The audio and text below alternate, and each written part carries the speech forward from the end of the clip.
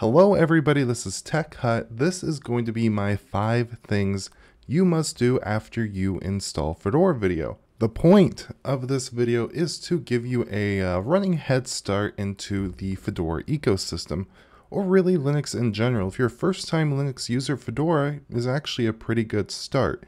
It's not really one of the distributions that's specifically optimized for the new user, but considering you're watching a video like this, you're in the right place to get started. So without wasting too much time, let's go ahead and dive onto our Fedora ecosystem. Chances are, if you're running Fedora, you're going to be in GNOME. They do have other spins with other desktop environments.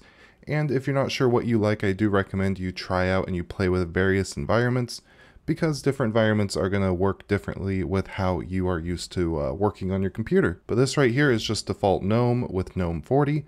Uh, most of these steps will work perfectly fine whether if you're using KDE, Cinnamon, whatever. And the very first thing, I just installed this, I just basically created my username, and the very first thing I'm going to go ahead and do is fire up the terminal. Now one thing, um, a lot of new users are kind of scared of using the terminal, and it's not really anything to be scared of necessarily. It's a fairly simple tool, but being that you're in Linux, you're going to want to kind of start getting used to this. It makes things a lot easier. Granted, basically everything that we're going to do in this video you could do with a uh, graphical component. In order to save some time and be a little more simplistic, we're just going to use the terminal and you can just copy and paste a lot of the commands that I'm going to be using. So before we even update our system or anything, we're actually going to go ahead and update our DNF config.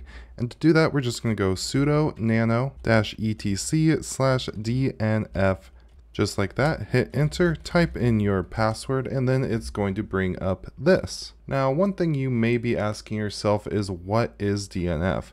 Simply put, DNF is the default package manager for Fedora. With DNF, you can install, do updates, remove packages, and it uses RPM packages, so you could download any RPM off the internet and go ahead and use that. And DNF is an updated version of Yum, which is a package manager that they used to use in uh, Fedora 21 and earlier. But overall, I'm, I'm really happy with using DNF. And the only really issue that I notice with it that you're going to want to watch out for is it is case sensitive. So that's really the only thing. What we're going to want to do here is add a few things. I'll have this below so you can just copy and paste it, but we're going to go fastest mirror equals true. So by default, it will use the fastest available resource to download packages. Next, you're going to want to add in max parallel downloads equals 10. So by default, it only downloads one package at a time. And if you have decent internet speeds, you could download a lot more and get through a lot of your system updates and package installations and things like that a lot easier.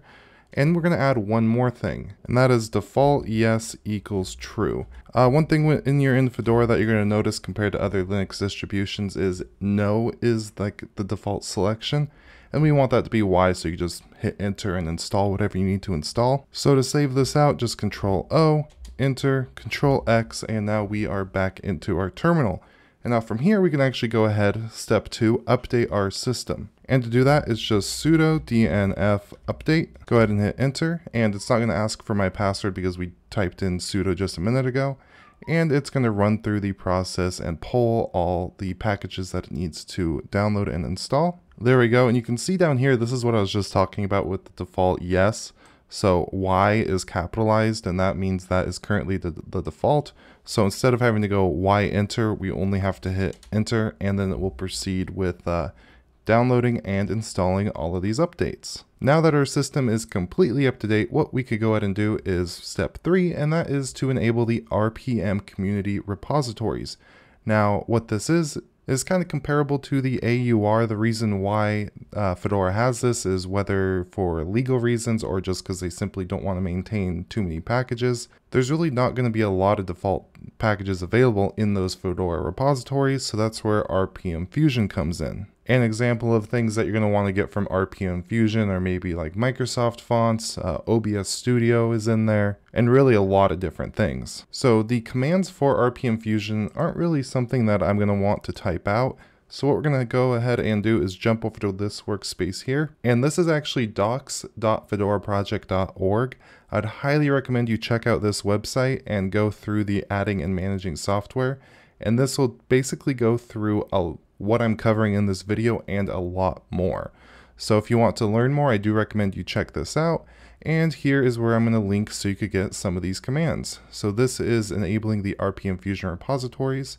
And what we're going to do is go ahead and select this command here, give that a copy, and then jump on over to our other workspace here and simply paste that in. Type in your sudo password, and then it's going to go ahead and confirm with you if you'd like to add the free repositories. You could hit uh, enter for Y, or if you didn't change those defaults, you're gonna have to hit Y and enter. And now you can see that we've added the free RPM repositories. Now if we go ahead, head back over here, now these are the non-free repositories. If you're somebody who's super into only using free and open source things, you're gonna want to not use this, but me, I honestly uh, don't care all that much. I, I do care a little bit, but not enough to not add this repository. So we're gonna go ahead and add that.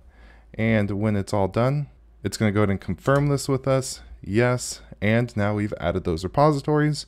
So now you will have access to a lot more software, whether if you're going to use a DNF in the terminal or you're going to use a graphical user interface um, app store such as the GNOME App Store or uh, Discover through KDE Plasma. And now what we're going to want to do, step number four, is enable media codecs. One thing you may notice is like if you go to YouTube and try to play a video, depending on what distribution or what uh, desktop environment you're running, you may run into issues. And to fix that, we're going to want to go ahead and install plugins for playing movies and music. And here is the procedure. So we're going to simply go ahead and copy and paste these over to our terminal. So paste that in. And we already entered our password in recently, so it's not going to have us do that again. And before I confirm this, just so we kind of note what's going on here, you could always scroll up and check out everything that you're doing. So this is everything it's installing.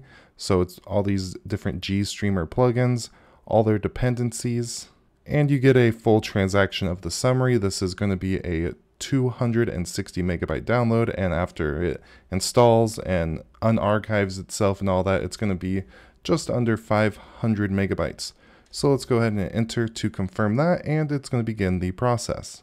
We are copying and pasting this directly from the Fedora document, so importing a GPG keys are probably going to be fine, so we're going to go ahead and hit enter. Alright, now that that's done, we're going to paste in the next command, hit enter, and this is to install the lame package, so let's go ahead and enter, and let that do its thing. And then for these media codecs, the very last thing we're going to do is a group upgrade command. So go ahead, add that in, hit enter, and then let's go ahead and confirm this upgrade. And now we have our media codecs in Fedora. So now everything's set up to the point that everything should work and you should be able to get the packages that you need. Now, step five isn't going to be anything too specific. Um, what you're going to want to go ahead and do is start customizing your desktop environment and adding in various software. Now in GNOME, personally, I, I am not a fan of GNOME in its default layout anyways.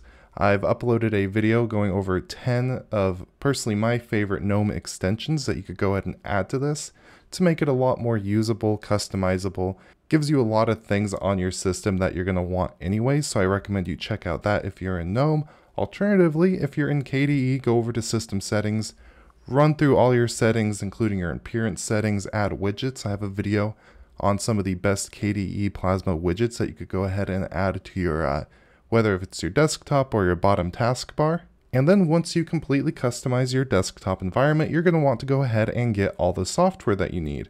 Now, if you're not too familiar with the software that you want, Luckily, I have two different videos going over the 10 top, well, my top 10 Linux applications. So I'd recommend you check that out. But just some default things you're going to want to do is go into Firefox or uh, download whatever web browser you would prefer, whether that be Chromium, Brave. You could throw Microsoft Edge on here now if that is your thing. You could go ahead and download Steam to play your games. You could get VirtualBox if you want to go ahead and play around and try out different Linux distributions. But with all of that said, those are my five things that I think you must do once you install Fedora. Uh, another thing I forgot to mention is uh, use a backup utility. If you're using the Btrfs file system, go ahead and look that up and learn how to use that. Otherwise, you could go ahead and install Timeshift, and that's a really good backup utility. I have a tutorial on that as well. But I would like to thank our YouTube members and Patreon supporters. We have two producer level supporters, Mitchell Valentino and Phil Mack. Thank you guys so much. And thank you to everybody else who is either a Techie Techie Plus, whether that be on YouTube or Patreon. If you go ahead, click below and join through YouTube, you get access to like emojis and badges and stuff. But if you don't really care about that, Patreon is a great platform and you could go ahead and support me over there. Uh, with all that said, make sure you subscribe and you ring that bell as I will be coming out with my uh, 30 days in Fedora review in about a week or two. So do be looking forward to that. And with all of that said, I hope you have a beautiful day and goodbye.